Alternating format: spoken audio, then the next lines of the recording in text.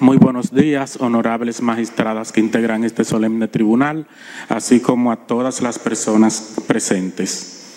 Honorable magistrada, debo comenzar diciendo que estoy conteste con las imputaciones que el Ministerio Público hace sobre mi persona al respecto de mi participación en este caso. Fíjese, voy a hacer un breve recuento de cómo comienza o cómo empiezo yo en este entramado para que las honorables magistradas puedan tener contexto. Esto falla de vez en cuando, para que las honorables magistradas puedan tener contexto de lo que voy a desarrollar en el transcurso de mi alocución. Para el año 2005, honorable magistrada, yo me desempeñaba en Politur. Oh, sí. Para el año 2005 yo me desempeñaba en el área de Politur como, eh, como asistente o ayudante de nóminas. Es cuando llega el señor Rafael Núñez de Asa como auditor y se hace cargo de la nómina. Allí él me lleva temporalmente con él como su auxiliar de contabilidad a una empresa ya hoy extinta, una agencia de cambio en la avenida San Martín, y vamos eh, por el, no sé si debo de pararme cuando escuche eso, sigo, sigo, perfecto. Entonces allí junto con la señora Rosy Guzmán, el señor Rafael Núñez de Asa me lleva como su auxiliar de contabilidad a esa empresa hoy extinta y es donde se va fomentando cierto vínculo de confianza. Como esa empresa no pagaba bien, por así decirlo, eso solamente duró unos pocos meses y es cuando al señor Rafael Núñez de Asa, a razón de que se excluye un personal de nómina, se le ocurre lo siguiente. Él me dice, Girón, ese personal que se excluyó de nómina este mes, usted no lo va a reponer sino que yo le voy a informar qué es lo que usted va a hacer con eso. Efectivamente, así se hizo y el dinero queda en cuenta. Ya más luego, él me ordena buscar a una persona, ya él tenía esos fondos identificados, que recuerdo eran unos 700 mil y pico de pesos, y me ordena buscar a una persona para ponerle ese dinero para que esa persona entonces lo recoja del banco y, lo, y se lo entregue a él. Esa persona es Erinson Bren Rosario, que es una persona que se ha mantenido trabajando también en el departamento de nómina desde ese mismo instante, o sea, desde el año 2005 hasta este mismo año 2021 cuando se eh, hace la operación coral. Resulta, magistrada, que yo nunca y eso quiero dejarlo claro acá, porque quieren decir que yo he estado haciendo esto solo. Nunca he manejado esto de forma sola, sino que en conjunto con esa persona que le mencioné, que es como nosotros le llamábamos en el entramado, una cabeza recolectora, así como otros más y demás miembros del departamento financiero, cada vez que había que entregar un dinero, íbamos en conjunto donde el señor Rafael Núñez a entregar ese dinero. Nunca lo hice solo. ¿Por qué había que ir en conjunto? Fíjese, el señor Rafael Núñez, según se iba recolectando el dinero, mediante fue creciendo el entramado y se fue haciendo voluminoso el dinero que se recogía, fue teniendo las necesidades de unos gastos en esta ocasión personales para él y también de la gerente financiero de turno, la señora Nuris la Antigua. En ese momento él me instruye, me lleva donde esa señora porque ya era mucho dinero, ya te necesitábamos una sucursal bancaria donde se garantizara que una vez se recolectara todo ese dinero, se pudiese recoger.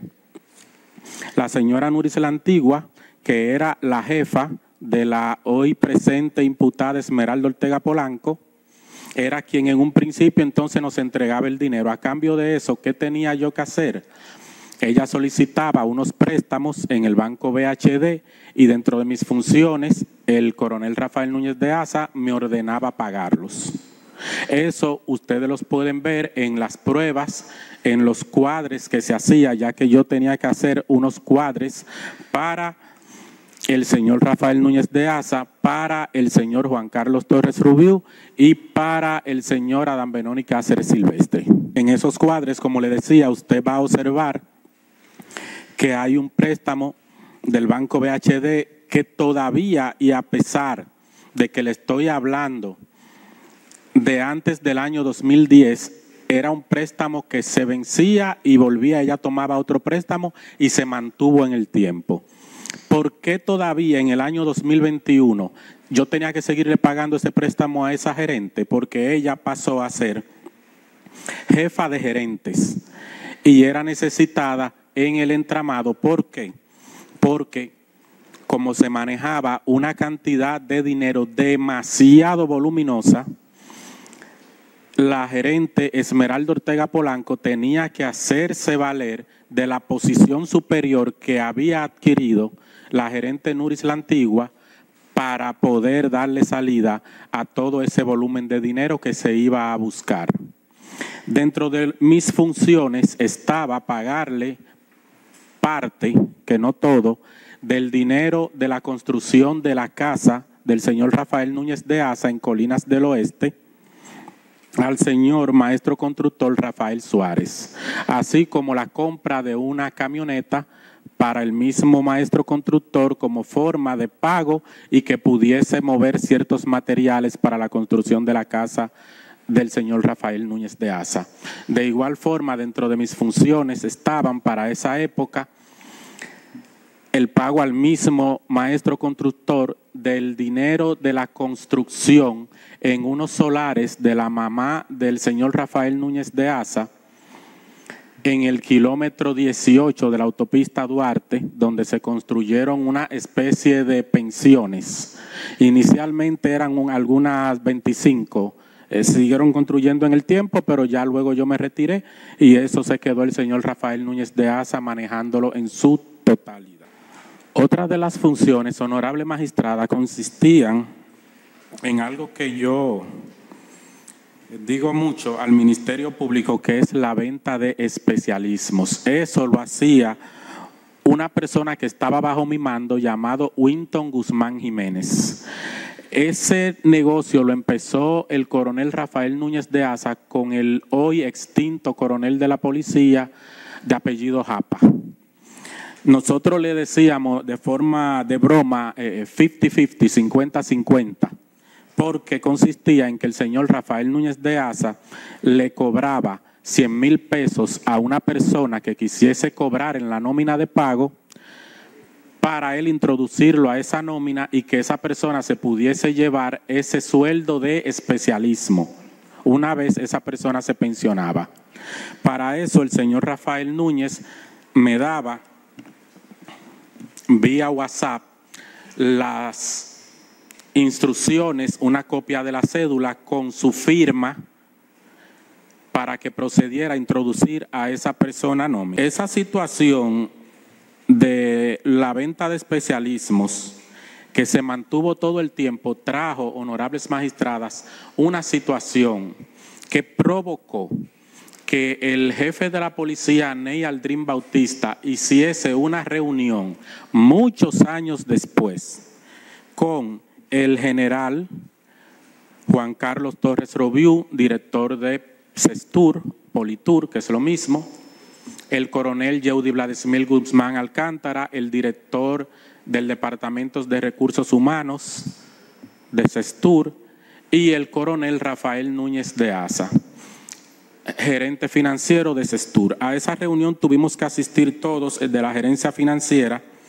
y el jefe de la policía dijo textualmente, a mí me tienen harto con la venta de especialismos y yo quiero que eso se acabe. Y no quiero que me digan que un encargado de nómina, un girón, es que está vendiendo especialismo, un tenientico viejo, que eso no son cosas de tenientico en la guardia ante la magnitud de la situación que se les estaba armando en ese momento, se agencian de una llamada del general Adam Benonis Cáceres Silvestre, quien llama al subjefe de la policía. El subjefe de la policía va donde el general, jefe de la policía, y ese tema quedó resuelto, zanjado, y la venta de especialismo siguieron su curso como si nunca esa reunión se hubiese dado.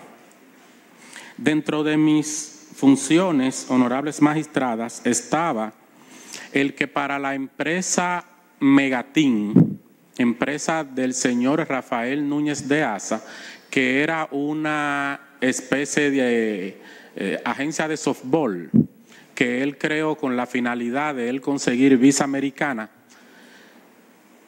para que eso se pudiese materializar, había que pagar un dinero para la invitación a ese torneo.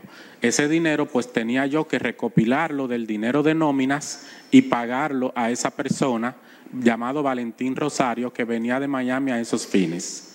No obstante, yo estaba encargado y eso está debidamente registrado en todos los cuadres que ustedes tienen como pruebas para verificar mis palabras. Yo tenía que comprar todo el habitamiento de todo el personal o sea, uniformes y todo lo que conlleva un equipo de softball. De igual forma, del dinero que se recogía de las nóminas, yo tenía que pagar los pasajes aéreos de ese personal completo. Y como pago a esos peloteros, ya que a un equipo de softball usted tiene que pagarle un sueldo, lo que se determinó por orden del coronel Rafael Núñez de Asa era que a todo el personal de su equipo de softball yo debía de incluirlo en la nómina de pago de Politur. Así él tenía granjeado ya todo lo de su yo quiero hablarle, magistrada, sobre unos solares que tenemos en los Róbalos Samaná. Creo se llama Bahía de Dios. Para que usted vea cómo funcionan las cosas militares. El coronel Rafael Núñez de Asa hace una reunión en la gerencia financiera y en lo personal me da una orden. Girón, hable con ese señor, él es el dueño de esos terrenos en Samaná y usted va a adquirir un solar ahí porque el general Adam Benonis Cáceres Silvestre tiene un proyecto en esa localidad que quiere desarrollar. El solar del señor Adam Benonis Cáceres Silvestre es el mejor, el que está en la playa. A ese, si Girón, usted tiene que ir identificando los fondos porque hay que hacerle un puerto para yates y una especie de rampa para descargar Yeskits. Luego, él identificó y asimismo se identificaron del dinero de nóminas solares para José Manuel Rosario Pirón, solares para un personal de la gerencia financiera llamada David Abreu, Jacobo de la Cruz Duarte, Israel Bran Hernández y Miguel Cancú Ramírez. Me refiero a la gerencia financiera del CESTUR. De ahí también salió un solar para mí y un solar para el coronel Rafael Núñez de Asa, que estaban todos en secuencia desde lo más lejos, o sea, desde la calle, los solares más malos, hasta la playa, como le indiqué, que era el solar del general Cáceres, los solares más buenos. De esto debo de decir algo, honorable magistrada, porque ustedes lo van a ver en mis conversaciones de WhatsApp había una instrucción de que esos solares se vendieran en papeles por un monto muy inferior o mínimo a lo que realmente costaban. Por ejemplo, el solar mío, que en papeles costó 600 mil pesos, en realidad costó unos 12 millones de, unos, eh, unos 2 millones de pesos, no 12, 2 millones de pesos. El del imputado José Manuel Rosario Pirón, que él en su caso se compró dos solares, uno para él y uno para supuestamente su hermana, que no es así, costaron 281 mil y 300 mil y pico de pesos, pero eso es mentira. Ya yo le expliqué a ustedes que esos solares realmente costaban todos millones de pesos. Honorables magistradas, escúcheme cuando yo hago el paréntesis porque me guío para saber los temas que voy a mi función nunca fue ir donde nadie a buscar un peso. Para eso existía el personal al que nosotros teníamos identificados como cabezas recolectoras. Y eso era lo que obligaba a los cuadres. Quítame, ¿quién va a asistir, la licenciada, mientras usted... a hablar con él, no va a salir. Continúa. Y eso era lo que obligaba a los cuadres. ¿Por qué? Porque, por ejemplo, si yo tenía que ir a llevarle, digamos, 10 millones de pesos al, gener- al coronel Rafael Núñez de Asa, Perdón, entonces, el, usted va a dejar, registre que el licenciado Yan- Rubén Giancarlos Martínez estará asistiendo provisionalmente a Epifanio Peña Lebrón, ¿es así? Bien. Si yo tenía, por ejemplo, que entregarle 10 millones de pesos al coronel Rafael Núñez de Asa, producto de la recolección de dinero, de nóminas, raciones alimenticias, viáticos, Entonces, ese dinero, al no recogerlo yo y el coronel Rafael Núñez de Asa darle instrucciones de que se gastase ese dinero en situaciones que voy a detallar en mi alocución más adelante, a las mismas cabezas recolectoras o darle instrucciones a las cabezas recolectoras cuando no era de forma directa a través de mí, entonces ellas debían de estar ahí cuando estábamos entregándole ese dinero al señor Rafael Núñez de Asa. Las cabezas recolectoras eran mayormente personal que lo integraban las gerencias financieras, tanto de Politur como del CUSEP. Entiéndase por Politur Sestur. Por ejemplo, David Abreu Padilla, que era el asistente personal en Politur del coronel Rafael Núñez de Asa, era la persona encargada todos los meses, digamos que de apurarme. Girón está durando mucho, el personal, el dinero, los jefes lo están esperando y por los jefes quiero ser claro. Juan Carlos Torres Rubiú, director de Politur, o Adam Benoni Cáceres Silvestre, director del CUSEP. Siempre David me instruía, y esto es bueno que ustedes sepan, por WhatsApp. Por eso ustedes van a ver muchos David diciéndome, el coronel Rafael Núñez de Asa, que te está esperando con el cuadre de la nómina en, su casa o te está esperando con el cuadre de la nómina en Politur. Pero cuando se hablaba del cuadre de la nómina, en este caso, de lo que se estaba hablando era precisamente de el dinero que se recogió más todos los gastos que hicieron las cabezas recolectoras o que se me ordenaba a mí hacer de sus cosas personales y que teníamos que ir donde ellos a darle explicación. De ahí a que yo nunca podía ir solo porque yo no sabía alguna orden que se le había dado a alguna otra cabeza recolectora y pues por ende había que explicarle eso al coronel Rafael Núñez de Asa. Hay una situación que yo quisiera remarcar, honorable magistrada, y es como el personal de Politur, Sestur, es el mismo que el personal del CUSEP. Me explico. El coronel Caraballo, que estaba en nómina, es el mismo que él se lleva para CUSEP a trabajar en almacén. Por ejemplo, Kelman también lo saca de Politur y se lo lleva para Perdón, CUSEP. perdón, ese micrófono no puede estar al lado de la defensora y su imputado porque ellos tienen un derecho a conversar que no puede reproducirse, lamentablemente. Y si lo ponen ahí hace interferencia. Porque entonces, si usted habla con ellos, imagínese. Bien. Al coronel Morales García lo saca de Politur también, en- de combustible de Politur, y se lo lleva de combustible para el CUSEP.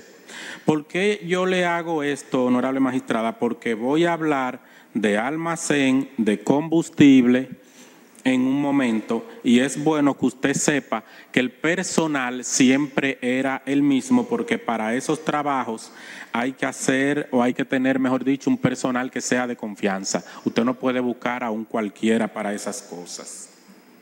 Mire, dentro de mis funciones estaba todos los años comprar unos celulares, pero yo no quisiera que usted se quede con la idea de que era comprar un celular. Yo estoy hablando de que por la metodología en la que había que comprar esos celulares, por orden del coronel Rafael Núñez de Asa, y que ustedes van a ver esas órdenes que me fueron dadas en mi WhatsApp, eran millones de pesos. ¿Por qué? Primero porque no era un celular, mínimo eran 20, mínimo. Eran iPhone de último modelos de los que salían y ellos querían esos celulares generalmente el mismo día que salían en la tarde. Para eso y por la fiebre que generan esos equipos, había que determinar personas que tuviesen visa americana. Había que pagarles hospedajes en Estados Unidos por dos y tres días antes con el dinero que se recolectaba de Politur, de las nóminas y del CUSEP. Y luego había entonces que darle el dinero y ellos venir ese mismo día en la tarde con esos equipos. ¿A quién se les entregaban esos equipos? En su mayoría al coronel Rafael Núñez de Asa. Yo tenía que configurarle de manera personal todos los años el celular nuevo del general Adam Benonis Cáceres Silvestre del CUSEP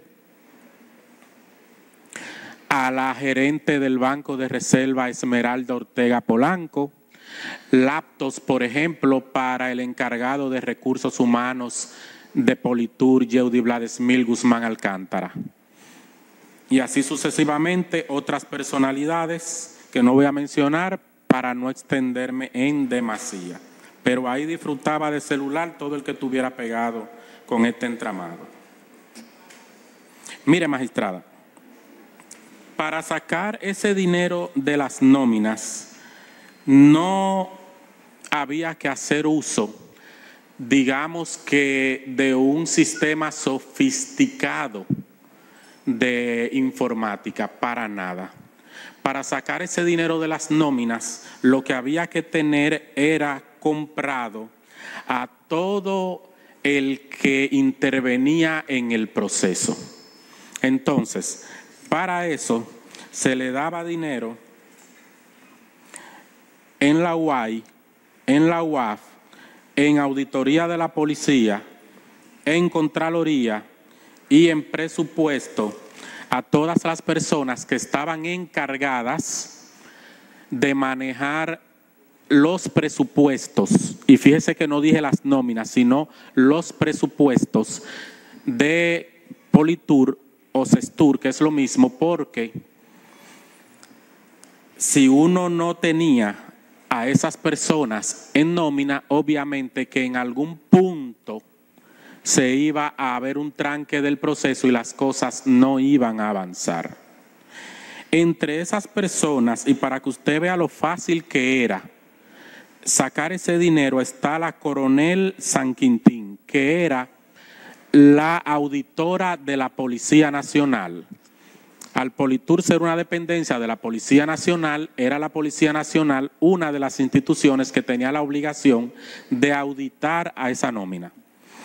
Pero fíjese usted que iba a auditar la auditora que estaba cobrando en nómina, pero mire qué casualidad, esa auditora por orden del coronel Rafael Núñez de Asa, y así está establecido en mis conversaciones de WhatsApp, tenía también que devolver lo que ella cobraba, pues ella estaba en nómina exclusivamente para que eso le sirviera para la pensión, ya que era el atractivo que veían los miembros de la Policía Nacional en ese caso. Luego, honorable magistrada, esa nómina iba a una dependencia de la Policía Nacional, Ah, perdón, esa misma coronel que estaba en nómina y que devolvía su dinero, también era una cabeza recolectora del entramado. Fíjese esto. O sea que tenía también que devolver dinero y buscar personal para que cobrasen y devolviesen el dinero también. En este caso se lo entregaban a mi hermano Vicente Girón Jiménez, que era, digamos, que una cabeza recolectora de orden superior, en jerarquía de cabezas superioras, de, de cabezas recolectoras, si se quiere decir. Tenemos, honorable magistrada, entonces, que en el caso de que una vez la nómina estaba aprobada por auditoría de la policía, tenía que bajar a la UAI, que era otro departamento, en este caso de Contraloría, pero en la misma Policía Nacional. Ahí el coronel Rafael Núñez de Asa ordenaba que se entregara un dinero a esas personas para que también miraran hacia el lado. Y yo en este caso, aunque estoy mencionando al coronel Rafael Núñez de Asa, quiero hacerle una salvedad al tribunal. Yo dije cuando empecé que yo tenía que hacer cuadres para el señor Rafael Núñez de Asa, el señor Juan Carlos Torres Rubiú y el señor Adán Benonis Cáceres Silvestre. En este caso, ese dinero que se pagaba por soborno todas las entidades que tenían que ver con la recolección de los presupuestos de Politur, se ponían en los cuadres del señor director de Politur, porque era un dinero que del dinero que tenía que entregarle el coronel Rafael Núñez de Asa al director de Politur, tenía que descontárselo.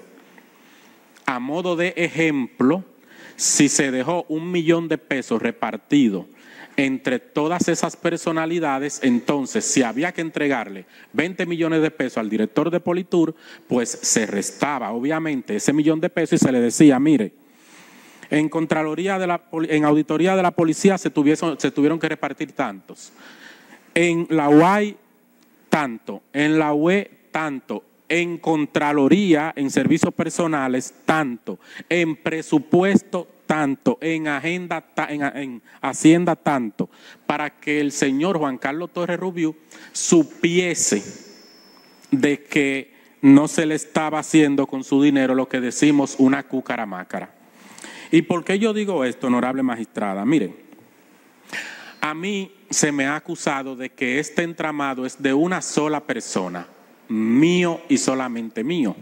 Y con esto que yo les estoy diciendo, lo que busco no es salpicar a nadie. Yo estoy haciendo mi medio de defensa, porque yo estoy demostrando que las personas que se paran aquí a decir que no tenían nada que ver con esto, eran las personas que justamente tenían que ver con esto.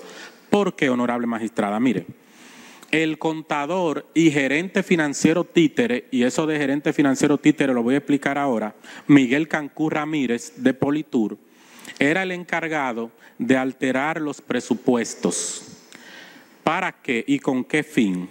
Bueno, dependiendo de lo que en este caso el señor Juan Carlos Torres Rubiú se quisiese ganar, dependiendo de un mes u otro, Miguel Cancú Ramírez tenía la obligación de entrar al sistema como contador de la institución y solicitar a presupuesto esos fondos adicionales.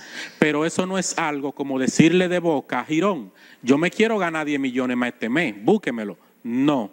El general Juan Carlos Torres Rubiú y el coronel Rafael Núñez de Asa tenían que hacer una solicitud de presupuesto a presidencia solicitud de presupuesto que siempre venía aprobada porque el mayor general Adán Benonis Cáceres Silvestre hacía las gestiones para que eso así pasara. Ya que, y esto debe de quedar muy claro, el general Adán Benonis Cáceres Silvestre no solamente tiene que ver en el CUSEP, él tiene que ver en un 30-40% estimadamente de las ganancias que dejaba para los superiores el CESTUR o Politur, que es lo mismo. ¿Qué pasa, honorable magistrada? Que una vez llegaba esa solicitud que firmaron tanto el general Juan Carlos Torres Rubiú como el coronel en su calidad de gerente financiero Rafael Núñez de Asa, y ese dinero llegaba aprobado, entonces había que ir a presupuesto a agenciar y diligenciar esos dineros. Y eso siempre se aprobaba porque como ya les expliqué, estaban todos sobornados. Al punto que la segundo de presupuesto, por instrucciones del coronel Rafael Núñez de Asa, se le remodeló la casa completa. Y eso está ahí estipulado en los cuadres que se hacía por parte de todos los miembros de la gerencia financiera para entregarle mes por mes al coronel Rafael Núñez de Asa. Bueno, una vez, honorable magistrada, llegaba ese dinero, digamos, para que ustedes entiendan de forma tácita esto. El general Juan Carlos Torres Rubio no podía decirme quiero robar 10 millones, mándenme 10 millones. No, vamos a incluir un personal de reclutas. Ese personal de reclutas, por la razón que sea, hacía 7 millones. Perfecto. Pero el coronel Rafael Núñez de Asa tenía los mecanismos para que eso se subiese en 3, 5, 7 millones más en presupuesto, ¿verdad? Entonces el general Juan Carlos Torres Rubio tenía que enviar un listado de ese personal firmado a presupuesto diciéndole, mire, para ese personal que está entrando a trabajar nuevo a Politur, yo necesito ese dinero, esos millones. Pero ¿qué pasa? Una vez ya teníamos los fondos acreditados en Politur, se me ordenaba instruirle a las cabezas recolectoras que buscaran el personal que iba a cobrar ese dinero. Cuando las cabezas recolectoras me mandaban ese dinero, yo tenía por orden que mostrarle ese personal para que lo preaprobara al coronel Rafael Núñez de Asa. Si él entendía que ese personal no tenía problema para cobrarlo, entonces se introducía en nómina. Pero mire este dato curioso, honorable magistrada. Cuando uno trabajaba la nómina para enviar la Contraloría ya para su pago, usted recuerda que el general Juan Carlos Torres Rubio hizo una relación de personal firmada a presupuesto de unos reclutas. Pero entonces el general Juan Carlos Rubio hacía una relación totalmente diferente para enviar la Contraloría con el personal que iba a cobrar ese dinero para devolverla. Y porque eso es algo evidente y hasta disparatado si se quiere, y por qué era tan fácil, y de ahí que tenía que estar sobornado todo el que estuviera en esa cadena de mando. Porque el general tenía que poner el soporte de ese libramiento. O sea, los reclutas que él solicitó originalmente, él tenía que mandárselo anexo al, a Contraloría. Contraloría decía, óyeme, pero los reclutas cobran 6 mil pesos. Y tú me estás mandando una relación de personas que están cobrando 30 mil, 50 mil, 70 mil pesos, que hacen la misma cantidad de dinero que tú solicitaste para los reclutas. Pero como tú me estás sobornando, yo voy a hacer de la vista gorda, yo no vi nada, págale a ese dinero para que tú lo recojas.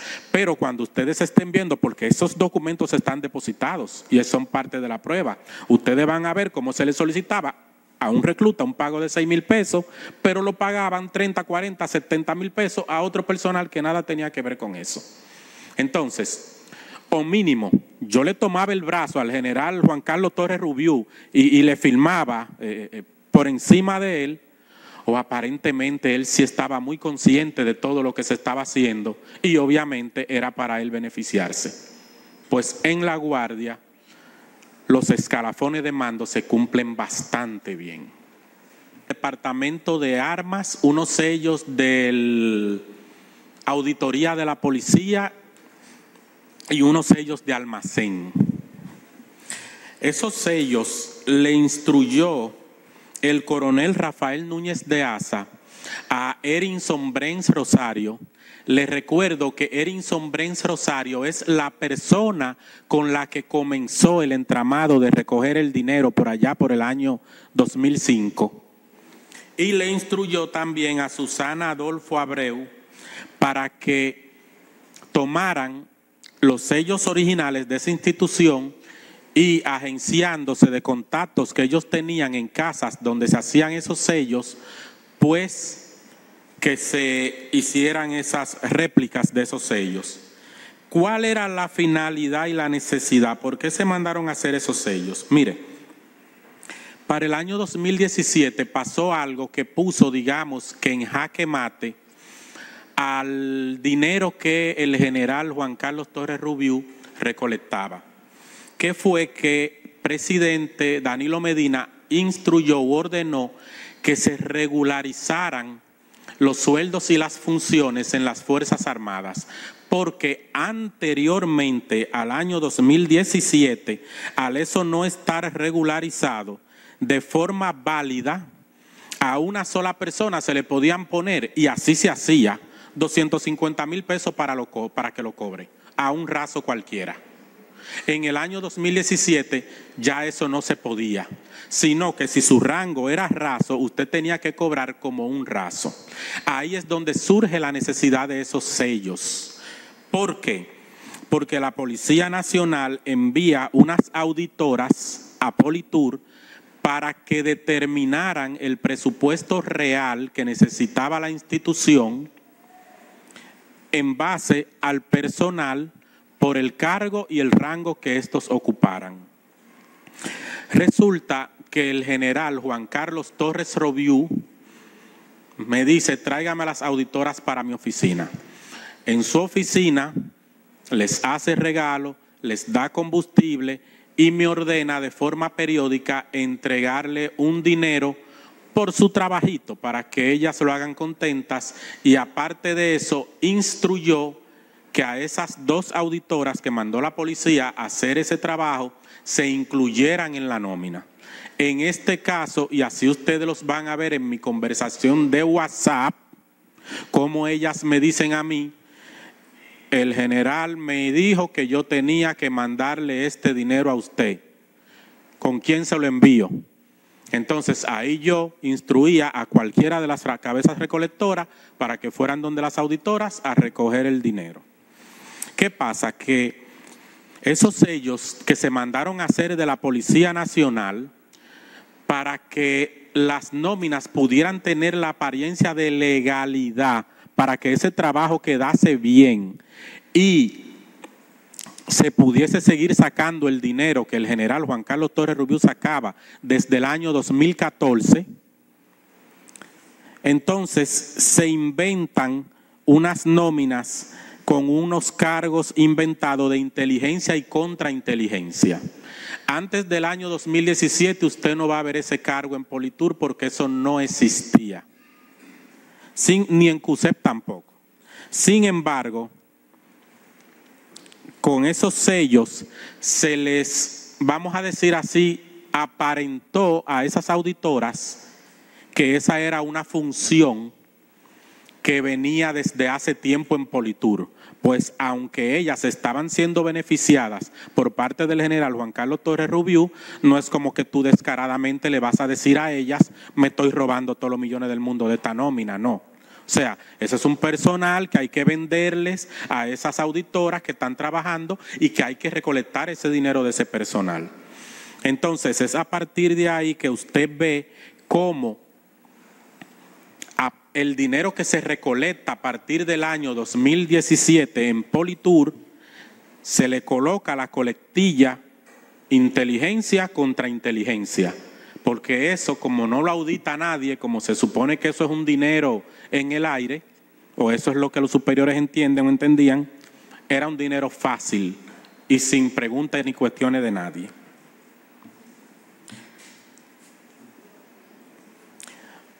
Otro detalle que yo deseo remarcar aquí, honorables magistradas, es que yo tampoco podía ir solo cuando yo tenía que firmar las nóminas con el general Juan Carlos Torres Robiú para luego llevarlas a que siguiesen su camino en la cadena de mando hasta que se pagase, sino que yo tenía obligatoriamente que ir o con el director de recursos humanos o con el director financiero.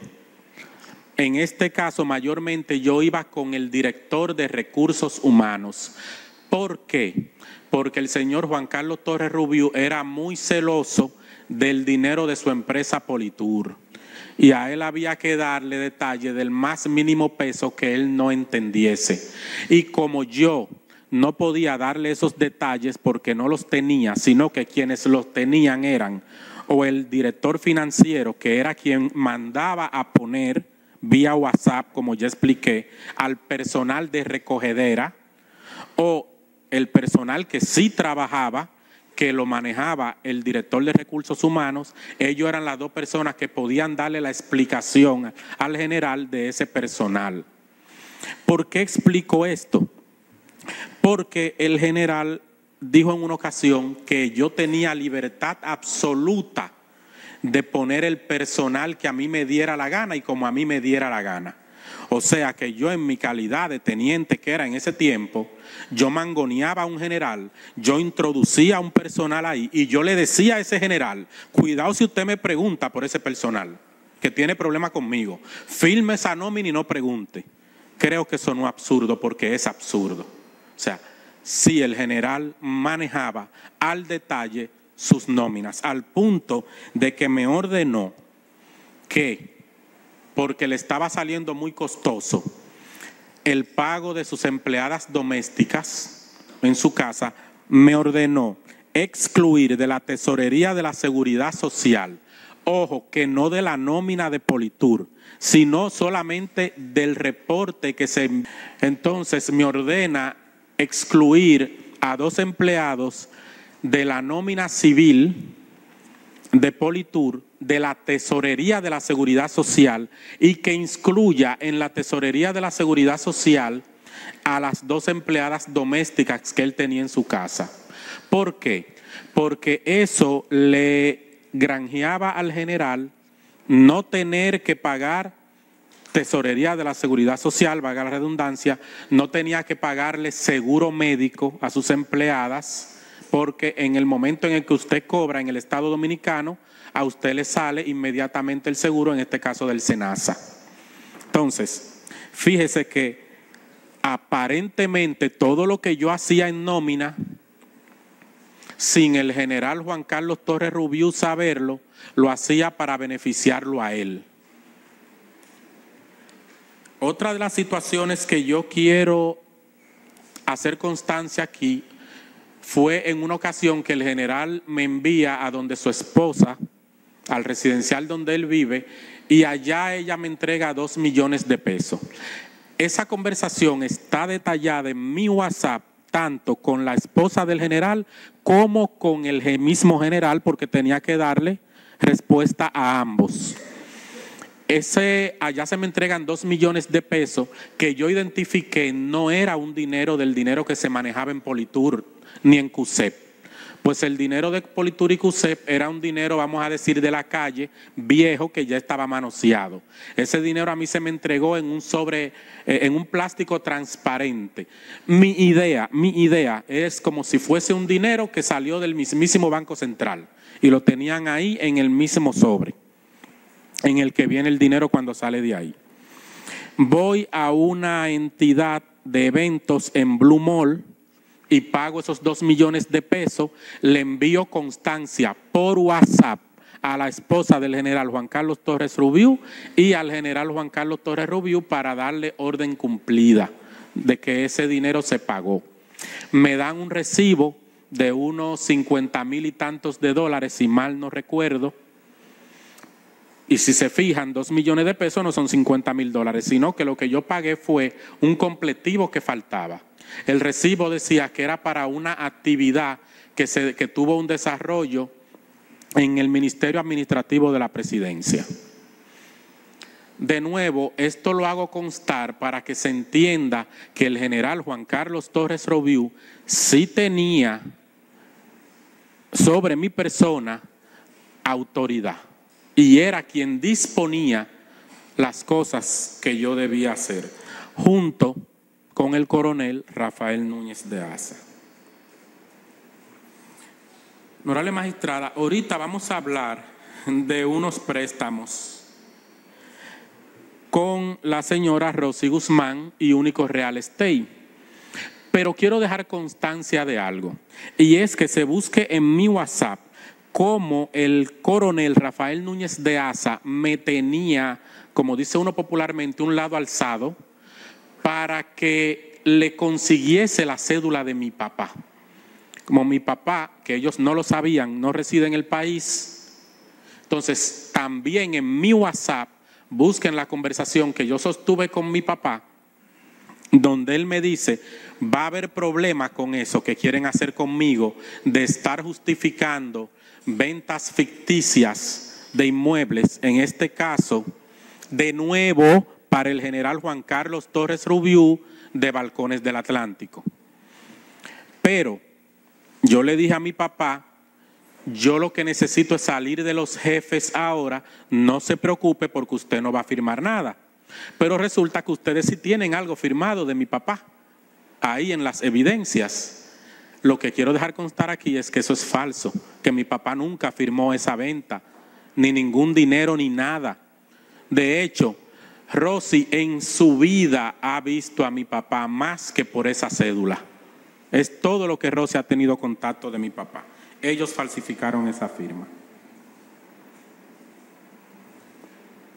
Mire, el señor Rafael Núñez de Asa de tanto en tanto, digamos que se calentaba o tenía muchas funciones, ya que él no solamente fue director financiero en Politur, sino que lo fue en CUSEP, pero también lo fue en ISPOL, en José Paul, etcétera, etcétera. O sea, como él estaba en llamado con el general Cáceres, en siendo instituciones donde él pudo ser gerente financiero, él lo fue.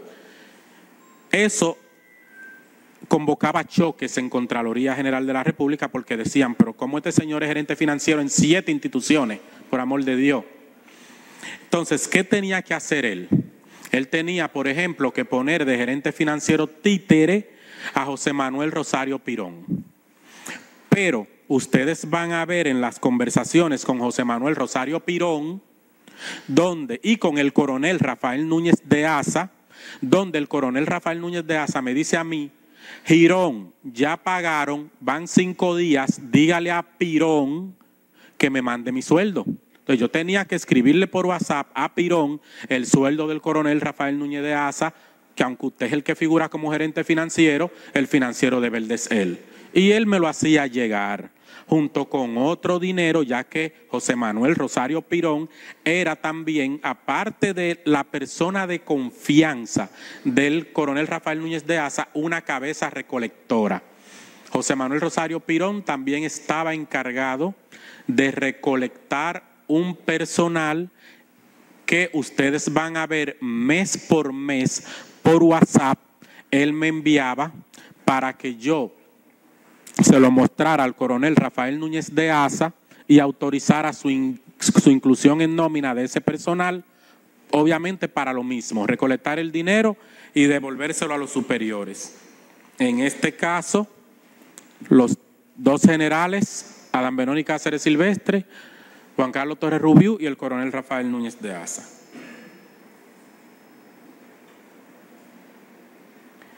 Mire, yo tenía dentro de mis funciones el pago de una Lexus del coronel Rafael Núñez de Asa.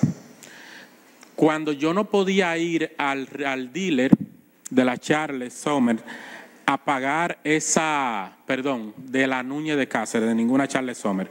Cuando yo no podía ir al dealer de la Núñez de Cáceres a pagar esa Lexus, entonces tenía que entregarle el dinero a José Manuel Rosario Pirón para que hiciera pago de esa Lexus, que es la misma Lexus que él luego intercambia por un apartamento en Juan Dolio y que pone a su hija Sommer a administrarle para darle cierta, vamos a decir, eh, vicio de legalidad de que eso era un apartamento que, que se había adquirido de forma transparente. Pero realmente, y así ustedes lo van a ver porque consta en la bitácora de vida, que es mis WhatsApp, sobre ese particular. Yo quisiera decirle algo sobre mis WhatsApp. Yo dije aquí en mi primera y segunda locución que yo no borré los WhatsApp. Y eso no es un cliché. Afortunadamente, desde la primera instrucción que a mí se me dio en la vida hasta la última instrucción está en WhatsApp.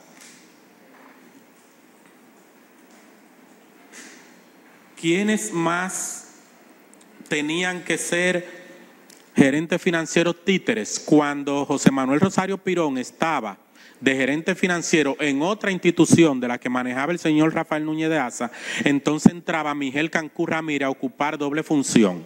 Cancú Ramírez le dije ahorita que era la persona encargada de alterar los presupuestos de Politur, pero también tenía que fungir como financiero títere del coronel Rafael Núñez de Asa y están las conversaciones donde él tenía que devolverle ese dinero también.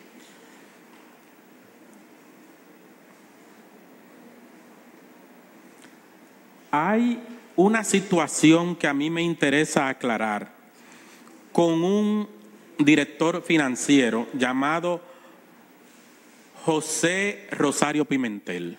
Él fue el último gerente financiero que tuvo el señor Juan Carlos Torres Rubiú, al menos hasta que el entramado explotó. Con él hubo una particularidad y es que si bien José Manuel Rosario Pirón, Miguel Cancú Ramírez devolvían el sueldo al coronel Rafael Núñez de Asa, de gerente financiero, ellos se beneficiaban del entramado de otra manera. Pero esta persona no. Esta fue una persona muy maltratada por el general Juan Carlos Torres Rubiú, a tal punto que él lo saca de Conani, y ya llegaremos a Conani un poquito más adelante con el general Juan Carlos Torres Rubiú y su esposa. Pero mientras tanto, vamos a que él trae ese coronel de Conani y lo pone como director financiero de Politur, Sestur, porque ya estaba haciendo mella que el señor Rafael Núñez de Asa supuestamente lo habían despachado desde agosto del año 2020 pero a pesar de que habían otros gerentes financieros, como dije, Pirón y Cancún, quien seguía firmando todos los documentos era el señor Rafael Núñez de Asa. Ustedes ven qué tremendo disparate. Y por eso es que le digo, esto no es de un sistema sofisticado, de un genio de la informática que podía sacar unos dineros mágicamente. No, de nuevo, cuando eso llegaba a todos los departamentos, veían ¿Quién es el gerente financiero? Miguel Cancú Ramírez. ¿Quién es el gerente financiero? Eh, José Manuel Rosario Pirón. Pero ¿quién firma? Rafael Núñez de Asa. Pero ¿cómo tú me dices que en el nombre del gerente financiero está una persona, pero sigue firmando el señor Rafael Núñez de Asa? Como tú me sobornas, miro para el lado, dejo que esa porquería pase y el dinero pasa, el dinero llega. Honorables magistradas, por rato, yo sé que pudiese parecerle a ustedes que yo voy dando saltos entre Politur, Cestur y CUSEP. Pero no es que voy dando saltos, sino que como yo recuerdo los hechos y como éramos todos el grupo para ambas instituciones, en esa misma secuencia yo voy narrándoles, para que me disculpen que no es como que hice solo Politur y luego hice solo CUSEP sino que concomitantemente, como hacíamos las actividades, así se las voy narrando. Mire, para el año 2014, el general de brigada Juan Pablo Torres Rubio, eh, el general de brigada Juan Carlos Torres Rubio, logra que su esposa le consiga la plaza de Politur, Sestura en ese momento para él fue una sorpresa, diría yo que grata, pero fue una sorpresa, que a él lo llama el mayor general Cáceres y le dice, venga para CUSEP. Pero a mí me nombran en Politur y me están mandando a buscar de CUSEP. Vamos a ver qué es lo que pasa. En esa reunión, el general Adam Benoni Cáceres Silvestre le dice y decir en la guardia de un superior a un subalterno es una orden. Ese señor que se llama Rafael Núñez de Asa es su gerente financiero. A partir de ahí ya él tiene que seguir trabajando en Politur con ese gerente financiero. ¿Esto para qué? Para que se mantenga el entramado desde el cual en Sestur y Politur, que es lo mismo, el general Adam Benonis Cáceres Silvestre se viene beneficiando desde el año 2012. Ya me pusieron un general nuevo dos años después, este general no va a venir a hacer lo que le dé la gana y a quitarme mi ganancia, no. Esto está claro. Usted se va a ganar un 60-70% que le dan al director de Politur y el otro porcentaje de la ganancia entonces para el general Adam Benonis Cáceres Silvestre para que el general Juan Carlos Torres Rubiú de Politur no saliera incómodo de la reunión, él sale agraciado de esa reunión con una Jeep, una Jeepeta marca Jeep, que en ese momento era la del año y la que a él más le gustaba, la full, la más cara, como es evidente, que se adquirió, como no podía ser de otra manera, en el mismo dealer de la Núñez de Cáceres, que era donde el coronel Rafael Núñez de Asa tenía sus contactos para mandar a buscar el vehículo que él quisiese y luego entonces me mandaba a mí o a cualquier otro del grupo de su confianza, como mencionó ahorita José Manuel Rosario Pirón, a ir pagando esos vehículos en la forma en la que ellos establecieran. Mire, el general Cáceres no me conoce, o al menos eso él dice cada vez que tiene la oportunidad de hablar. Sin embargo, yo a él lo conozco muy bien porque en sus inicios humildes a mí me fue mal con él. Porque cuando el coronel Rafael Núñez de Asa identifica, pues es su modo de operación. Él siempre identifica quiénes son los jefes que él entiende que van a ocupar ciertas funciones que le sean beneficiosas a él adquiere confianza con esas personas antes de que se encumbren en sus respectivos cargos para que cuando esas personas lleguen a sus posiciones, pues ya él está enllavado con ellos. Porque yo digo que me fue mal. Yo recuerdo en sus inicios a un general Cáceres de Punta de Villamella, que no se le veía el brillo que tiene ahora, me refiero al brillo por el brillo de millonario, y aquí en el coronel Rafael Núñez de Asa me sacrificaba con los 10 mil pesos de gasolina que a mí se me daba en Politura en ese momento para regalárselo al general Adán Benoni Cáceres Silvestre, porque no tenía. O sea, hoy no, hoy él me regala 10 bombas de gasolina si yo quisiera, pero para que ustedes vean las vueltas que da la vida. Entonces, en CUSEP se da algo que facilita mucho el trabajo. Y ustedes lo van a ver en este detalle que le voy a hacer. Cuando el general Cáceres llega, existe un sistema llamado data reservas. Ese es un sistema que estaba prácticamente en desuso porque fue el primer sistema online que empezó a implementar el banco de reservas. No se puede confundir el data reservas con el net banking que se utiliza hoy día. Era un sistema, como dije, más arcaico. Al ser un sistema más arcaico, ese sistema permitía en el cuerpo sacar dineros en CUSEP, y el cuerpo es CUSEP, sacar dinero prácticamente dejando cero rastro por la forma en la que se pagaba ese dinero, ya que era prácticamente generar un archivo ese archivo que usted generaba solamente con la cuenta de la institución y la cuenta del beneficiario más el monto, ni siquiera quedaba guardado en un récord. O sea, usted pagaba y era como que usted hizo un pago fantasma.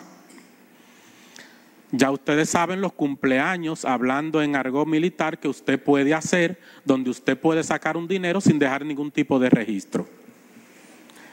De ahí que yo comparo que lo que se sacaba en Politur, Sestur, por uno, en CUSEP por lo menos era por diez. Y aquí hay un caso evidente y fácil de identificar. Si ustedes se fijan, aquí tenemos a Miguel Ventura Pichardo. Con él en Politur se sacaba un pago. No hay objeción a las declaraciones, digan. No, es que no le permito porque no hay ningún supuesto objetable, no está ocurriendo nada en este momento que justifique una objeción o que se deba regularizar.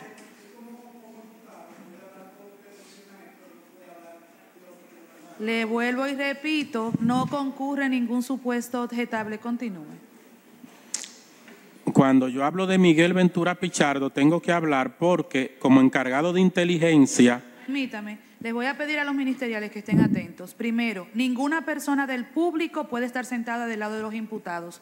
Eso no se puede volver a repetir y siempre que un abogado se pare, por favor, provéanle de un micrófono que para eso están aquí o díganle que se detenga porque entonces esa parte no se registra. Y es importante que se registre.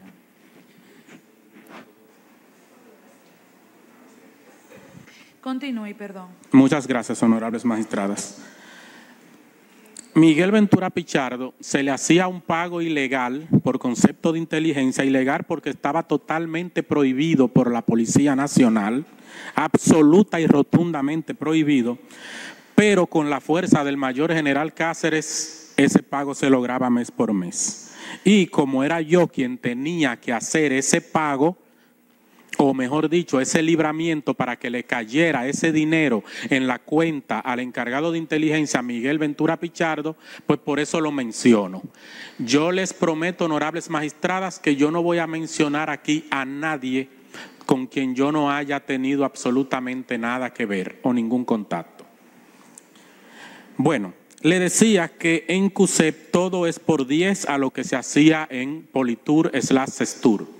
Y quiero poner como ejemplo el caso de inteligencia porque mientras que en Politur era un simple millón, fíjese que al ayudante del general Cáceres, al general Viola, se le depositaban, por poner un ejemplo, que lo van a ver eso, 12 millones.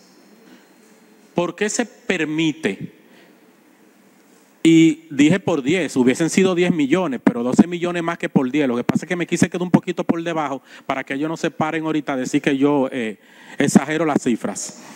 ¿Por qué se podía depositar al general Viola, Julio Camilo de los Santos Viola, 12 millones y en Politur solamente un millón? Fácil.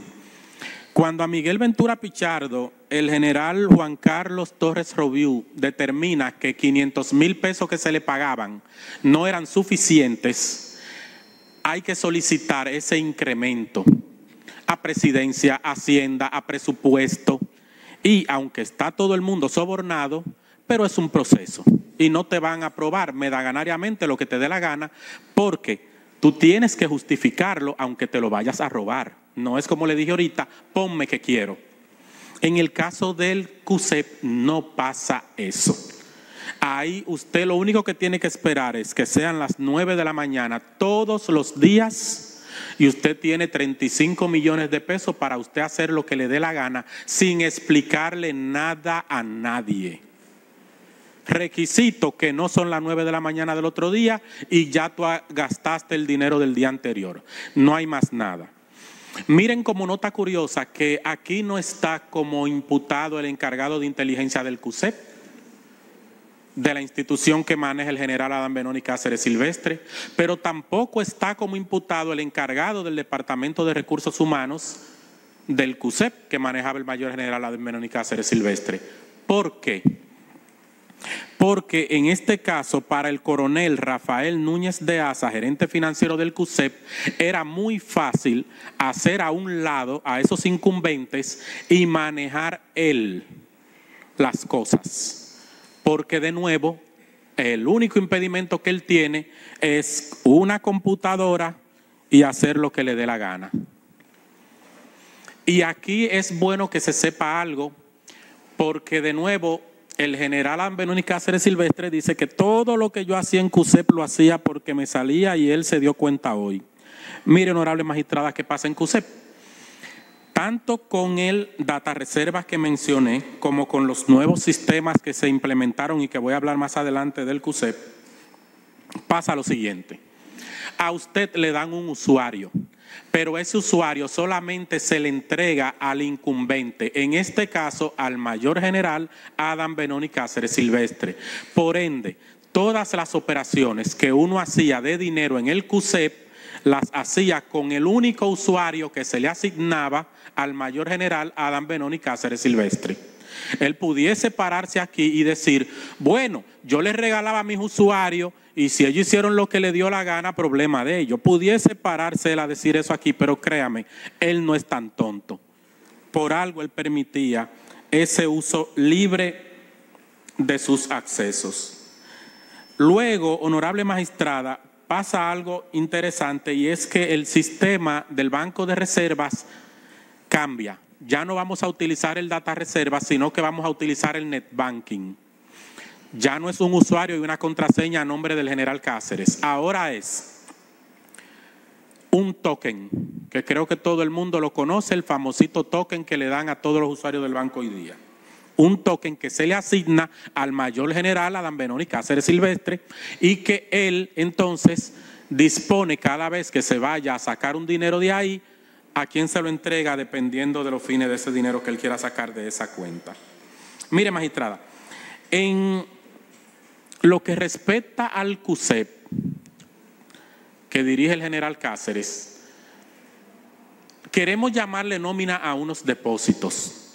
Ciertamente en el CUSEP se llamó mucho la atención porque en el Ministerio Administrativo de la Presidencia le solicitaban al mayor general Adán Cáceres que entregase el personal completo de nómina para pagarle por Contraloría a través del Ministerio de Administración Pública de la Presidencia, ya que se supone que ese departamento que dirige el general Cáceres es una dependencia de ese ministerio de la presidencia.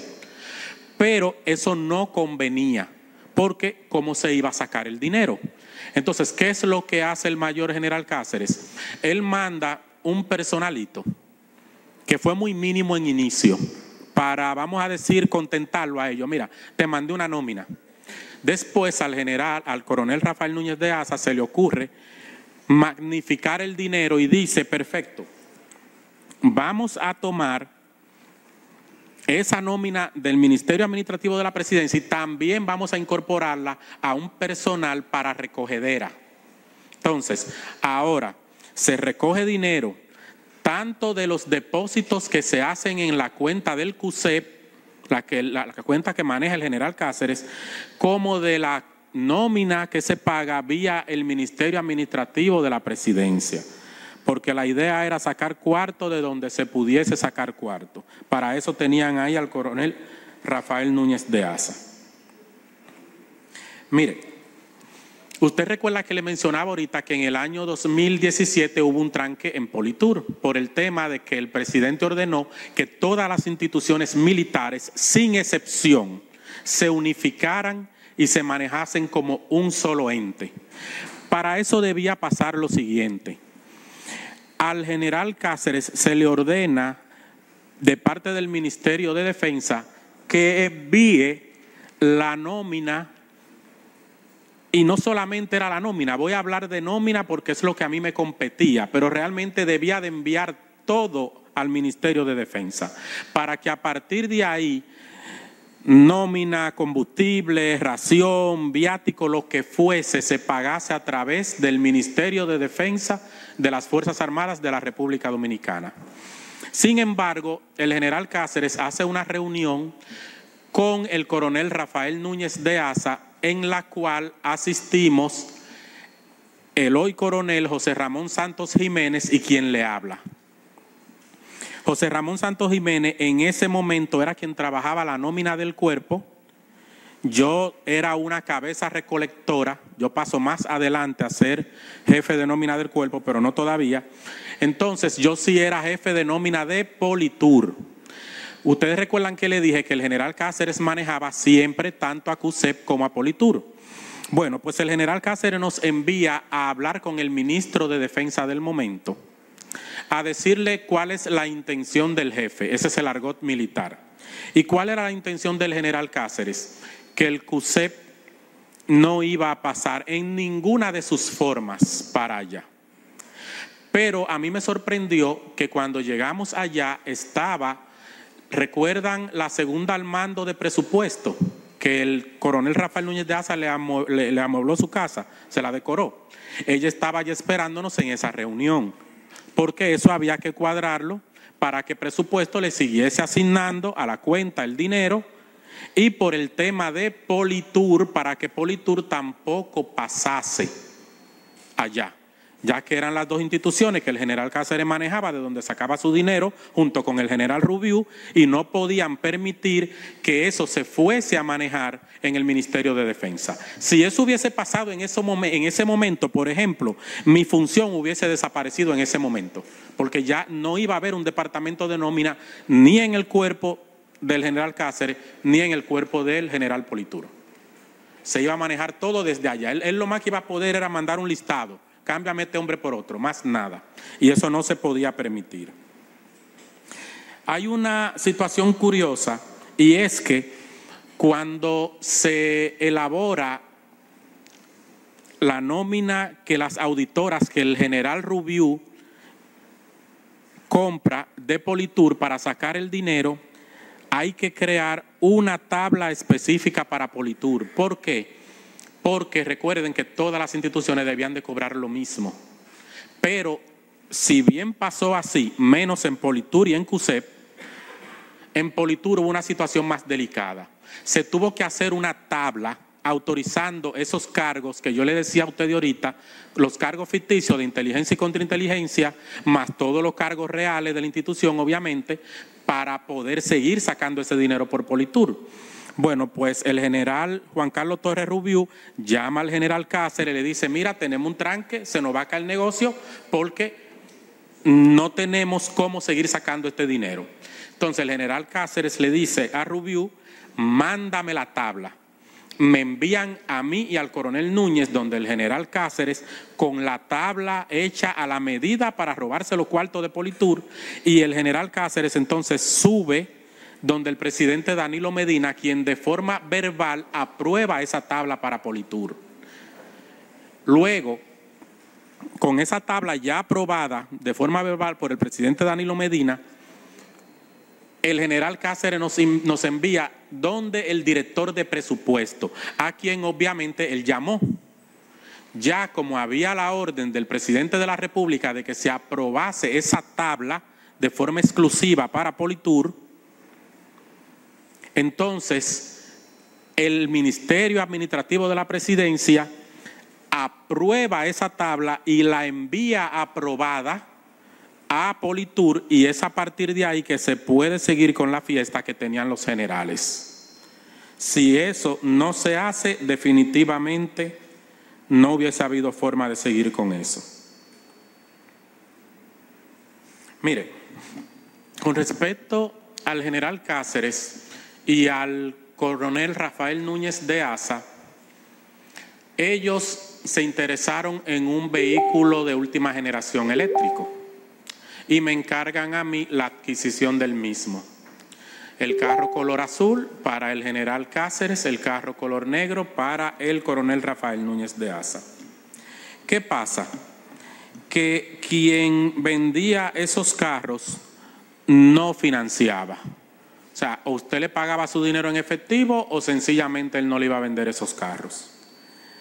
Pasa que como ese dinero no estaba en efectivo, el coronel Rafael Núñez de Asa llama, le voy a decir a la gerente, pero era su asistente por algo que van a ver más adelante, a la gerente del Banco de Reserva Esmeralda Ortega Polanco y le dice que hay que buscar los millones de pesos que cuestan esos dos carros inmediatamente ella comienza un proceso de depuración de absolutamente todo el personal que ella conocía de la gerencia financiera y del CUSEP para ver quién calificaba para hacerle ese préstamo. Ya que una vez hecho el préstamo por el Banco de Reservas, ustedes saben que no iba a haber ningún problema en ir a saldar ese préstamo a la brevedad, pero la idea era sacar el préstamo.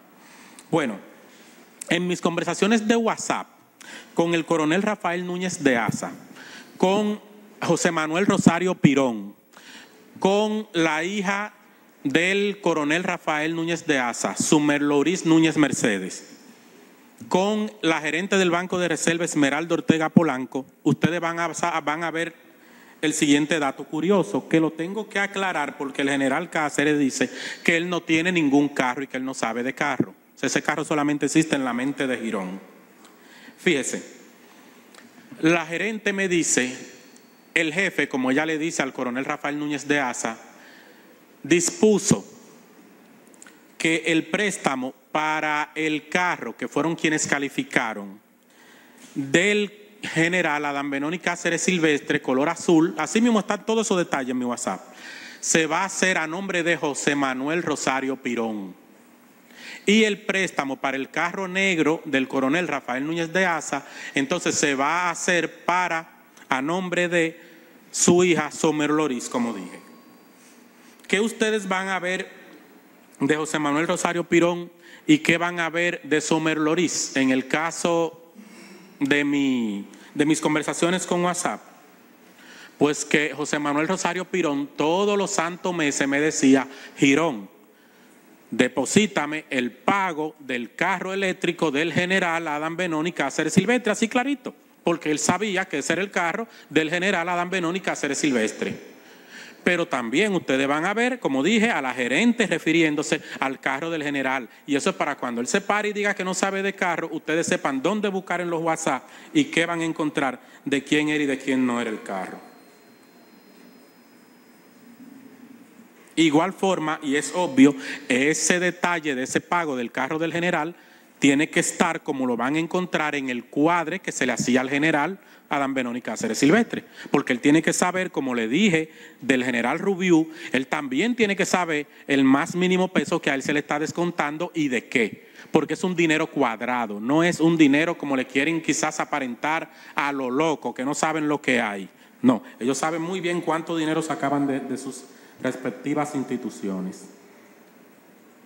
Mire, afortunadamente yo dije ahorita que yo no iba solo nunca a entregar el dinero que se recolectaba del grupo, sino que yo tenía que ir con las cabezas recolectoras, las que sí recibían ese dinero. Miren, solamente en Politur, porque si les digo del, CUSEP tendría que hablar de miles de hombres que yo no sabría ni cuantificar ahora mismo. Pero solamente en Politur más de 10 mil hombres cobraron para devolver los salarios. Recuerden que en CUSE la cosa es por 10 y más de ahí ustedes no van a encontrar un solo testigo que venga aquí y les diga, al mayor Raúl Alejandro Girón Jiménez, nosotros les dimos un peso colorado del dinero que se nos depositó en esa nómina. Porque para eso estaban las cabezas recolectoras. Yo no estaba para salir a la calle a buscar dinero detrás de nadie. Entonces, eso se los explico para que entiendan lo que voy a decir a continuación. Cuando nosotros íbamos, por ejemplo, a la casa del coronel Rafael Núñez de Asa a entregarle el dinero, algunas de las cabezas recolectoras tenían la duda de que ese dinero realmente no era para los generales. Y cuestionaban al coronel Rafael Núñez de Asa y le decían, óyeme, si tú esos cuartos son tuyos, o sea, si tú esos millones son tuyos y tú a nosotros lo que nos da es chele, súbenos esto un chin más. El coronel Rafael Núñez de Asa le decía, no, espérense ahí que ustedes van a ver de quién es ese dinero ahora mismo. Y siempre, en el 100% de los casos, iba el general Adán Benoni Cáceres Silvestre o el general Juan Carlos Torres Robiú a buscar lo suyo. Siempre. Uno veía, por ejemplo, si se le entregaba el dinero o en un bulto, si era demasiado, o en sobre Manila, etcétera todo el personal de la gerencia financiera, porque no quiero dejar la cabeza recolectora como personas que quizá nunca van a pasar por aquí. Ellos irán, deberán, supongo, de pasar todo por aquí. Todo el personal de la gerencia financiera veía cómo el general Cáceres y el general Rubiú iban y se llevaban el dinero que se le entregaba al general al coronel Rafael Núñez de Asa. Es como que, mire, coronel Rafael Núñez de Asa, tenga esa botellita de agua, y el coronel Rafael Núñez de Asa cogía esa botellita de agua y le decía, mire, general Cáceres, su botellita de agua, o mire, general Juan Carlos Torres Rubiú, su botellita de agua. Así de sencillo. Dentro de mis funciones en CUSEP, o sea, porque recuerden que tenía funciones en Politur también, CESTUR, yo tenía que darle un dinero al capitán Gary. Bueno, el Ministerio Público tendrá que, eh, su nombre es Gary, él trabajaba con Núñez como asistente de Núñez. Y en mis WhatsApp, ¿qué ustedes van a ver? Que Gary me pedía todos los santos meses el gasto para dos cosas los gastos de la finca del general Cáceres, así mismo lo van a ver en WhatsApp, y los gastos para las, las, y ahí lo digo en plural, las casas de Colinas del Oeste, porque él tenía que pagar la luz, cualquier cosa, que las en plural. O sea, quiero que se entienda que ahora estoy hablando de Adán Benoni Cáceres Silvestre, de Juanel Reyes Batista y de Mataflores, pero le quiero del nombre completito para que nadie, Franklin Antonio Mataflores. En este caso estoy hablando de la casa de los tres. Yo tenía que darle ese dinero. Pero también con el personal de la gerencia financiera, o sea, las cabezas recolectoras, yo tenía que mandarle a Juanel Reyes Batista y a Franklin Antonio Mataflores el dinero para que se lo entregaran a la dueña de Único Real Estate, que sabemos aquí que es la pastora, Rosy Guzmán, o a su hijo, porque se le, se le entregaba el dinero a uno o a otro con la cabeza recolectora, para el pago de las casas de Colina del Oeste de ellos dos. Y eso ustedes lo van a ver en los cuadres de los generales, del coronel Núñez y de mis conversaciones con WhatsApp, tanto con la cabeza recolectora como del mismo Gary que le acabo de mencionar. Yo tenía que mandarle con la cabeza recolectora un dinero también a las sobrinas del general Adán Benoni Cáceres Silvestre. En este caso no se me decía para qué era ese dinero, solamente ese dinero es para las sobrinas del general Cáceres y eran parte de mis funciones Decía que Cabrera Alemán es un coronel ayudante del general Viola en el cuerpo. A ese coronel yo tenía que enviarle con las cabezas recolectoras, por ejemplo, el dinero para unos apartamentos. Tanto un apartamento, recuerdo, del general Adán Benoni Cáceres Silvestre, como para un apartamento del general Julio Camilo de los Santos Viola. En ambos casos se le mandaba con esa persona ese dinero. También recuerdo que con ese coronel tuve que mandarle el dinero para el general Viola, recuerdo que me dijeron para la construcción de una verja. Así mismo, porque a mí me daban detalles secos, no me decían la verja que construyeron en, tal sitio construcción de una verja y así yo lo ponía en los cuadres. Dentro de mis funciones, magistrada, yo no quiero que esto se quede porque es muy importante. Mire, hay dos personas que a mí me daban un dolor de cabeza tremendo en lo que respecta a la presión que a mí me metían buscándole dineros. Y me refiero a Julio Camilo de los Santos Viola y al hermano del general Juan Carlos Torres Rubiú, que está aquí en calidad de imputado. Esas eran las personas que para mí respiraban dinero, comían dinero.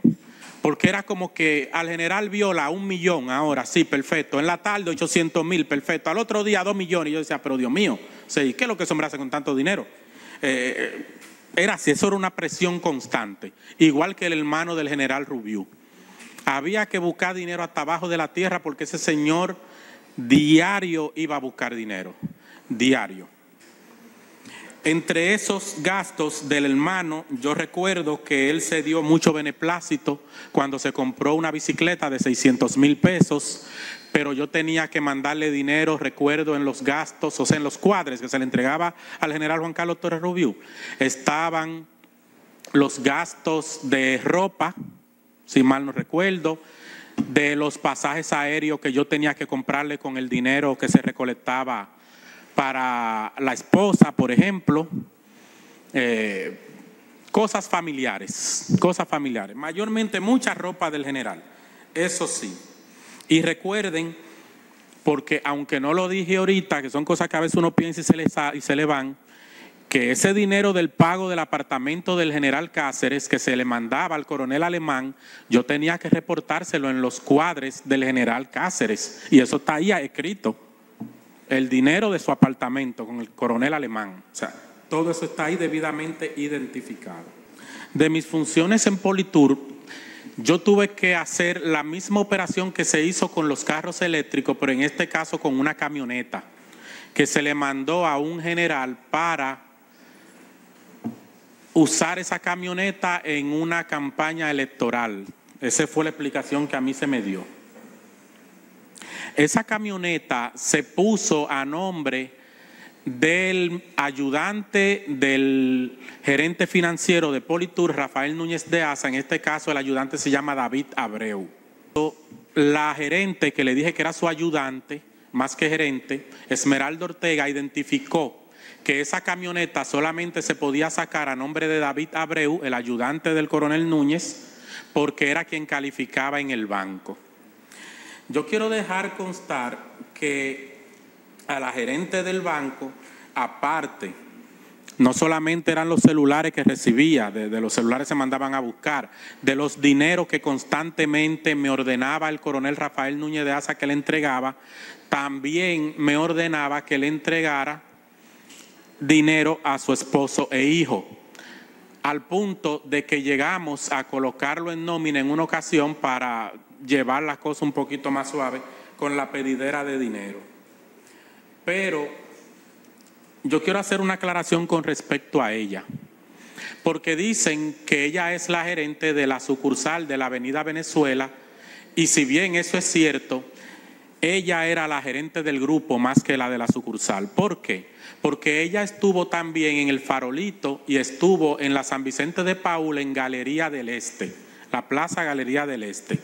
¿Qué hacía la gerente Esmeralda Ortega cuando a ella la movían de sucursal? Ella agarraba a todo el personal del grupo y se lo llevaba para su nueva sucursal. ¿Por qué? Porque como no había ninguna confianza en, vamos a decir, la Avenida Venezuela, con el nuevo gerente que llegó a relevarla a ella, no se podía sacar el dinero. Y como ya eso era un dinero que había que estar sacando y sacando y sacando y sacando, ese, ese contacto no se podía perder. Entonces, ella siempre trasladaba las operaciones que ella hacía a la sucursal donde ella estuviera. Ella era la persona estricta de suma confianza del señor Rafael Núñez de Asa, al punto que debo de decir aquí públicamente que ella era quien manejaba mis cuentas de manera particular como si fuesen cuentas del señor Rafael Núñez de Asa. ¿Qué quiero significar con esto?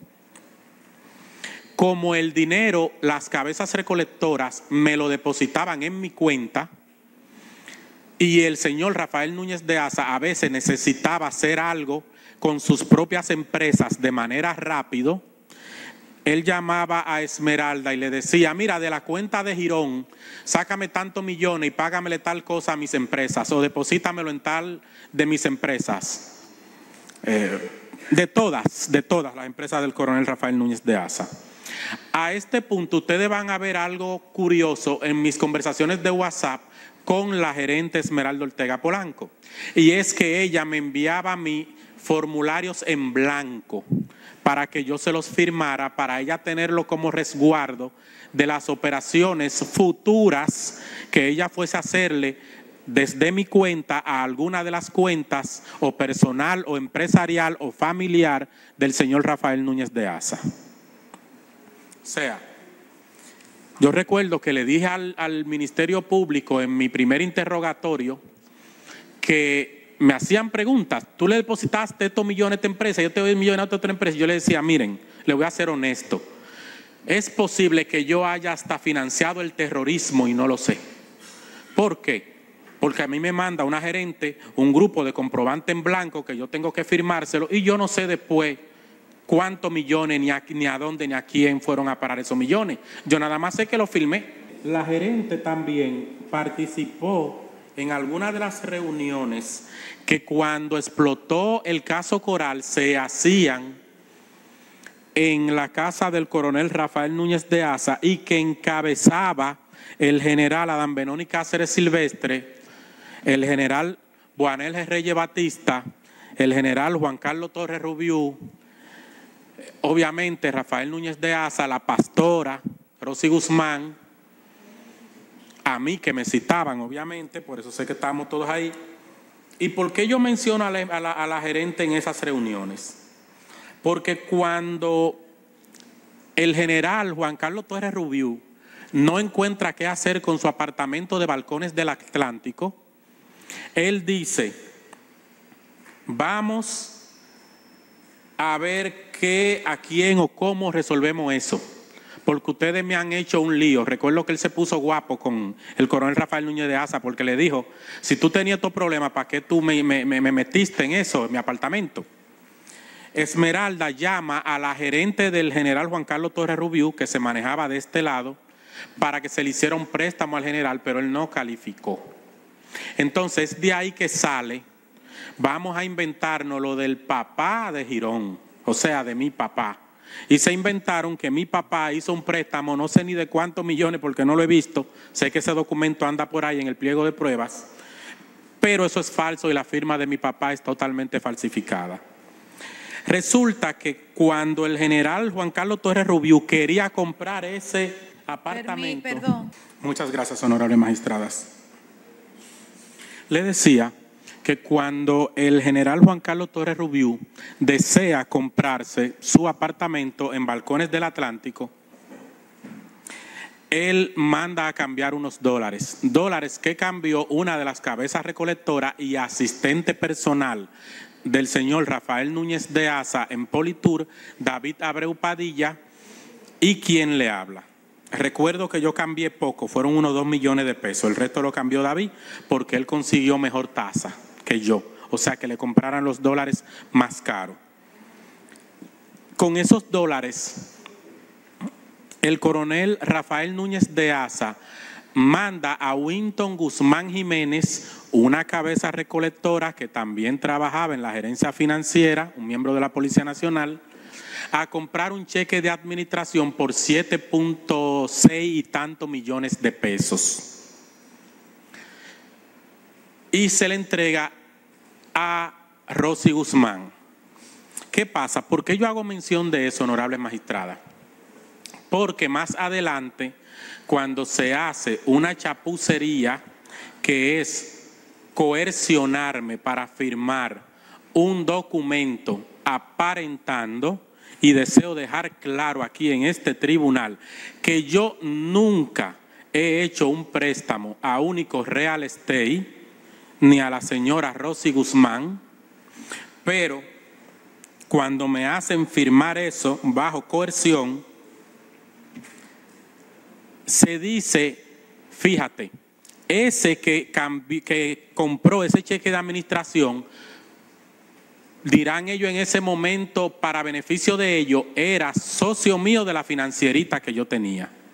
Entonces ahí es que se inventan, podemos pasar ese dinero como que es un préstamo de la financiera de Girón, pero es un préstamo que nunca salió de la financiera de Girón, sino de un efectivo que se llevó al banco BHD por parte de Winton Guzmán Jiménez, a quien Rafael Núñez envió, y volvió con su cheque de administración. O sea que todo se trató de esa falsa. También yo debo de dejar claro, ya que estoy hablando de a quien yo ni mi papá le hemos prestado nunca, es que aquí al director de recursos humanos, Yeudi Vladimir Guzmán Alcántara, tampoco le he prestado nada en mi vida entera. Sin embargo, con él hay una situación que debo de aclarar. Y es que dentro de mis funciones y por ser él director de recursos humanos, él tenía una ganancia mayor dentro del dinero que se recogía. Esto debido, honorables magistradas, yo creo que me falta para que ustedes puedan tener una precisión del tiempo, una hora y media, dos horas. Ustedes saben ya cómo manejarlo. Solamente quise decirle eso para que tengan. Bueno, con el coronel Yeudi, honorable magistrada, director de recursos humanos, como le explicaba, de Politur, él tenía unas ganancias es un director, o sea, más voluminosas. Como no podía ser de otra manera, como no podía ser de otra manera, él se interesa por un penthouse en Santo Domingo Este, en un área con vista al mar y cerca de la casa de sus padres. Que a él le interesó mucho el penthouse precisamente por la cercanía con la casa de sus padres.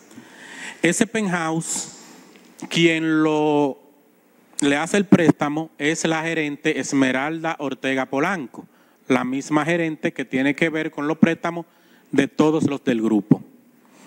Ustedes en mis WhatsApp van a ver con el coronel Rafael eh, eh Blandemil Guzmán Alcántara que soy yo prácticamente quien negocia el penthouse, al punto que se me envía al WhatsApp y al correo el contrato de promesa de venta cuadro, el inicial, todo, prácticamente todo de ese apartamento del coronel Yeudi Vladimir Guzmán Alcántara, director de recursos humanos de Politur, soy yo quien lo cuadro.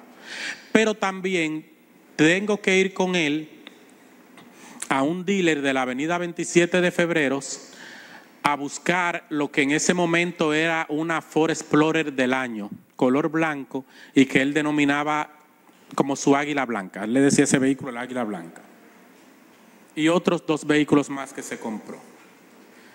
Todo eso ustedes van a ver en el WhatsApp como yo o también las cabezas recolectoras, una de ellas, mi hermano Vicente Girón Jiménez, estábamos encargados de realizar ese pago mes por mes de esos préstamos hasta que se saldaron. En el caso del, del apartamento, del penthouse, ya ese dinero era mucho, él lo tenía abajo de la almohada tranquilo y lo que sí se saldó también fue la casa que se compró en la Charles, un residencial que no recuerdo el nombre ahora, de la Charles de Go. Bien, eh, iba a hablar de Carlos la Antigua, pero necesito terminar esto de la señora Rosy Guzmán y su hijo Tanner.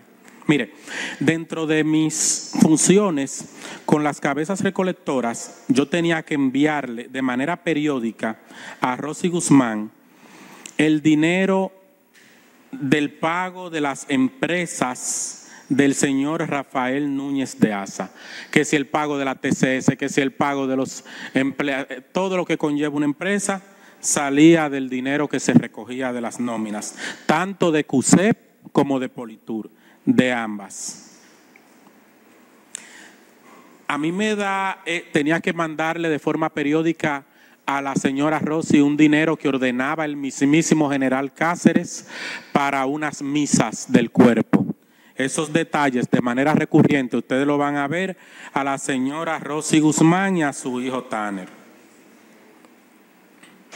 Como ya le especifiqué ahorita, la señora Rosy estaba dirigiendo lo que se iba a hacer con el apartamento en las reuniones que se hacían en la casa del señor Rafael Núñez de Asa, lo que se hacía con el apartamento de Balcones del Atlántico del general Juan Carlos Torres Robiú.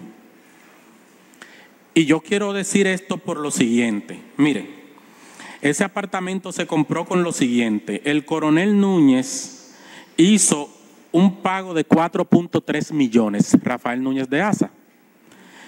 Supuestamente Girón, siendo mentira, con el cheque de administración dijeron que yo hice un pago de 7.6 millones de pesos.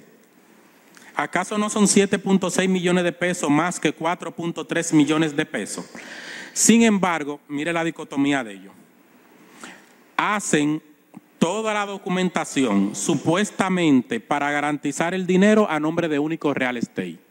Pero si yo tengo una financiera, que es un negocio legalmente constituido, y estoy aportando la mayor cantidad de dinero, yo voy a querer garantizar mis 7 millones, no que tú te garantices tus 4 millones. es para que vean que se hacían una serie de cosas que de verdad no tienen ni pie ni cabeza con respecto de, de las cosas de este grupo. En mis conversaciones por WhatsApp, con respecto a Manuel Antonio Félix Matos, que era una persona, un coronel que trabajaba en la oficina del general Viola en el cuerpo, allá en Palacio, esa persona llegó luego a la gerencia financiera. Recuerden que las personas del entramado se manejaban dentro de las oficinas del entramado. Era la persona encargada de recolectarle al general Viola los temas de la venta de los rangos, que era otra forma de recolectar dinero dentro del entramado. Ustedes van a ver muchísimas conversaciones a través de los años, que no una sola conversación mía con ese coronel, donde paradójicamente este último rango que adquirí en la guardia, tuve que mandarle al general Viola para que me quisiera dejar en el listado de ascenso 250 mil pesos. Pero no es solamente que yo compré mi propio rango, sino que habían personas que se me acercaban, que conocían cómo funcionaba eso y yo entonces lo ponía en comunicación con ese coronel o me entregaban el dinero a mí y yo se lo hacía llegar a ese coronel que a su vez obviamente se lo hacía llegar al general Viola, que era quien disponía finalmente de los ascensos. En la guardia los coroneles no ascienden, eso de general para arriba.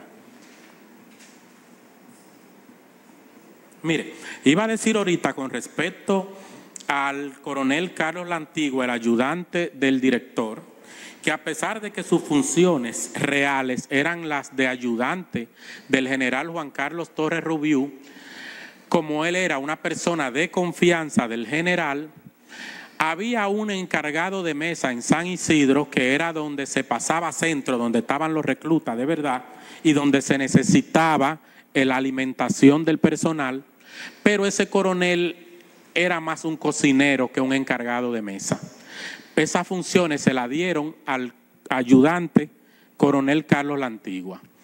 ¿Qué hacía el coronel Carlos La Antigua? Bueno, él me solicitaba a mí el personal ficticio de la nómina para él sacarle esa ración alimenticia. O sea, el personal que realmente trabajaba en la nómina lo manejaba el director de recursos humanos, Yeudi Guzmán. Él entonces cogía y combinaba el personal que realmente trabajaba más el personal que era para recoger el dinero para los generales y le hacía una ración alimenticia al personal completo porque mientras más gente, más dinero.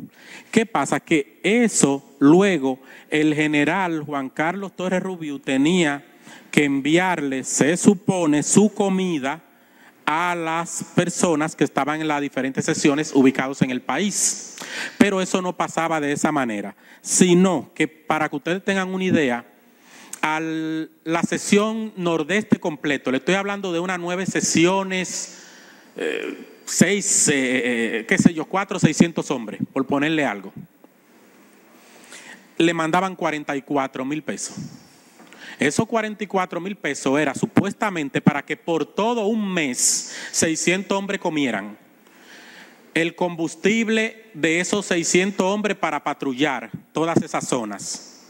O sea, con 44 mil pesos no lo hace una sola gente. Imagínense todo ese personal. Pero de alguna forma tenían que hacerlo. Entonces el coronel Carlos La Antigua hacía las gestiones a través del mismísimo o bajo orden del mismísimo general Juan Carlos Torres Rubio con los comedores económicos. Y creo que aquí todo el mundo ha visto unas funditas que dan los comedores económicos. Se conseguían esas fundas y con los 44 mil pesitos entonces se le mandaban esa fundita a ellos. De esa manera se resolvía el problema de que tenían que comer porque había que darle comida, pero el general tenía como ganarse el dinero que no mandaba de las raciones. Pero ¿por qué había que mandarle 44 mil pesos? ¿Por qué no sencillamente mandarle la fundita? Porque Jacobo de la Cruz Duarte, que era quien manejaba el combustible en Politur, también le asignaron el tema de las raciones. Ah, es bueno que ustedes sepan que también se mandaban unos 40 mil pesos para combustible. Entonces, Jacobo nos entregaba un listado a nosotros en blanco, donde, al igual que como yo hacía con la gerente financiero, ellos, los encargados, tenían que recibirnos mísero mil y dos mil pesos que se le entregaban.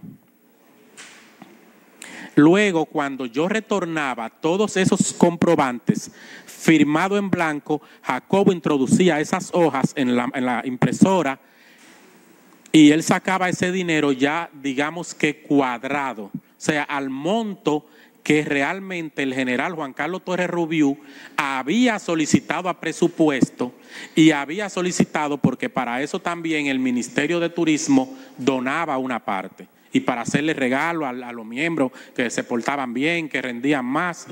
Todo era una forma de buscar cómo los generales quedarse con la mayor parte de su dinero, resolver su trabajo, porque ellos se van a parar aquí, le van a decir que efectivamente su trabajo lo hacían, solo que no le van a explicar cómo se sacrificaban a esos militares para que se pudieran hacer esos trabajos.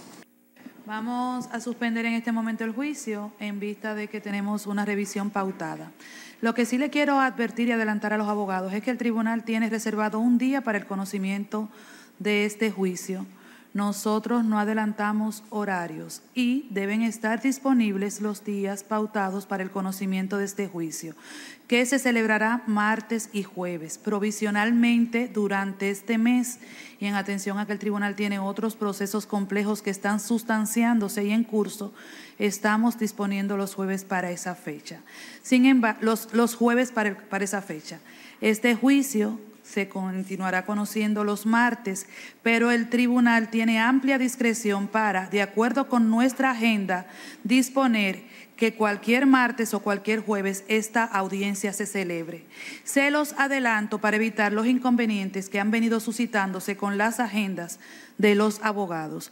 Organícense para que sepan que tenemos un compromiso por este mes los martes, pero que este juicio se va a celebrar martes y jueves cada semana. Mientras reanudamos el juicio, reanudaremos el juicio de acuerdo con lo que acordamos el martes 6 de agosto del año 2024 a las 9 horas de la mañana, donde continuaremos con la intervención de este imputado. Les voy a pedir que por favor salgan rápido porque tenemos todavía una audiencia pendiente de conocimiento.